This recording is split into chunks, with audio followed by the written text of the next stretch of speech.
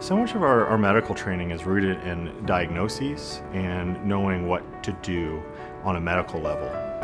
But once you get experience in providing care to people, you realize that there's such a human side to what we do. Welcome to Cincinnati Children's. You're joining a very special place. We offer the highest level of patient and family-centered care, a supportive environment for translational research, a caring culture that is committed to the highest safety, professionalism, diversity, equity, and inclusion.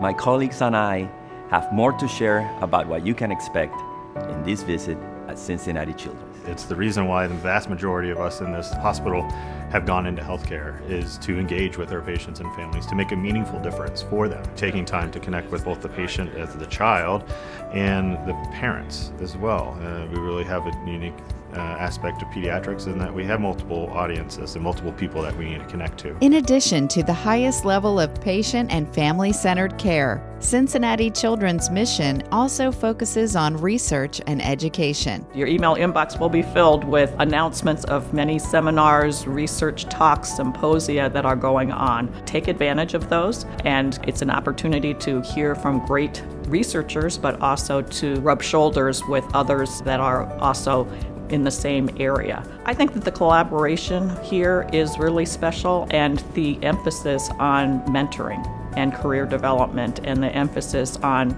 recognizing that we really need to develop the pipeline of researchers that are going to come after us. Our culture of safety is one of the strongest in pediatric healthcare. One of the core things about safety here is that everybody gets it that we want to keep our patients safe and our families safe, but it's also including ourselves you often have instincts, insights that something may be going a little bit askew, it doesn't quite make sense. You need to be comfortable enough to speak up about that. The flip side of that is that people need to be listening up, pausing, stopping, hearing what people are saying, perhaps even drawing out things from them when they're not quite clear on what they're worried about. In addition to speaking up about what's potentially not going right, if you have a better idea how to do things, we'd encourage you to share that as well. One example of the way we support a culture of safety is in our process of handing off patient information. And I think it's important to recognize that handoffs are not just about communicating from physician to physician. It's really important that all members of the healthcare team are involved in that handoff, such that we're having a multidisciplinary discussion and that everyone has the same shared mental model in order to make sure we're providing comprehensive and safe patient care. We're also committed to making quality improvement part of our cultural fabric. This is sort of the Disney world of hospitals. We have the imagination to think beyond what people do every single day. We push the limits, we think about what can be, not what we currently do.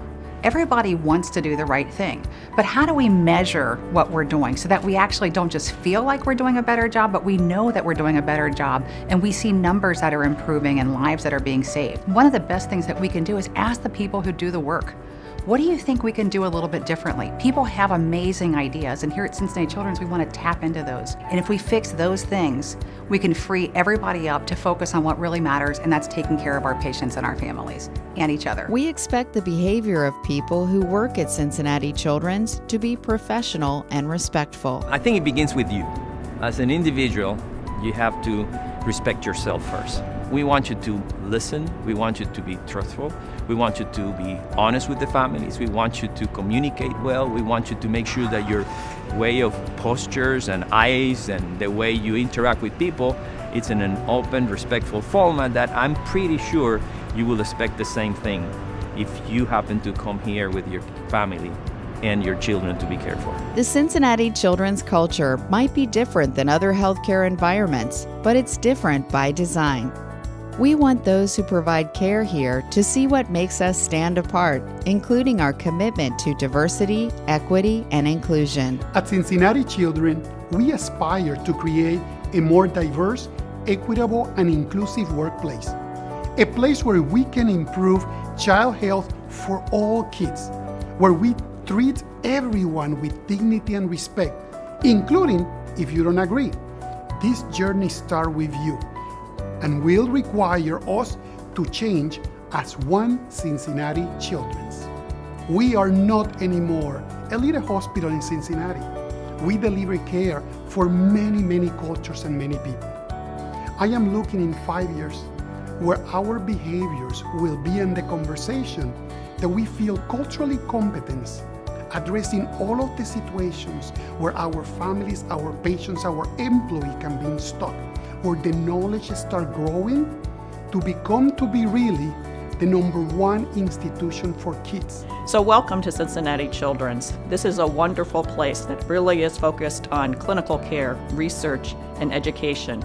It's really a culture of collaboration, inclusion, with a focus on safety, and a focus of working all together to improve outcomes for children. Take advantage of all that Cincinnati Children's has to offer, and we are here to help you meet your goals.